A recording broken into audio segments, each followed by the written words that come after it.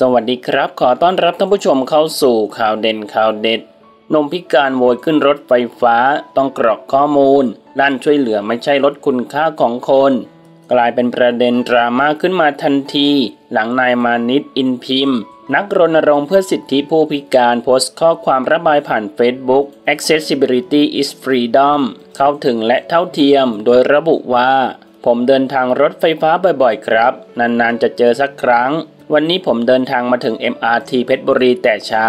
ลงมาที่ชั้นจำหน่ายตั๋วก่อนเข้าเกต น้องรปภยื่นกระดาษมาให้และบอกว่าเขียนข้อมูลด้วยครับ ผมบอกรปภไปว่าน้องเขียนให้หน่อยนะ น้องก็ใจดีใจหาย ไม่ได้บอกอะไรยินดีเขียนให้ ผมยื่นบัตรคนพิการให้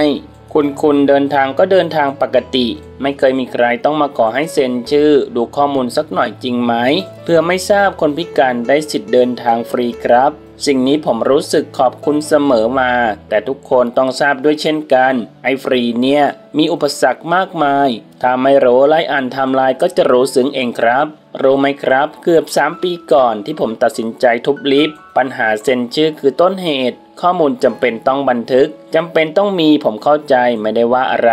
กราบเรียนผู้บริหารสูงสุดของระบบขนส่งสาธารณะ เรียนสำเนาถึงท่านรัฐมนตรีว่าการกระทรวงคมนาคม ผมเสนอแนวทางที่คิดว่าดีที่สุดให้คือ ให้ออกบัตรตัวพิเศษให้กับคนที่รัฐต้องดูแลครับ ก็ดีผมจะได้เลิกเป็นคนประหลาดสักทีแต่บัตรปี๊บระบบมีข้อมูลรายคนทันที สามารถค้นข้อมูลว่าในหนึ่งเดือนไอซาบะมันเดินทางไปไหนบ้างทันที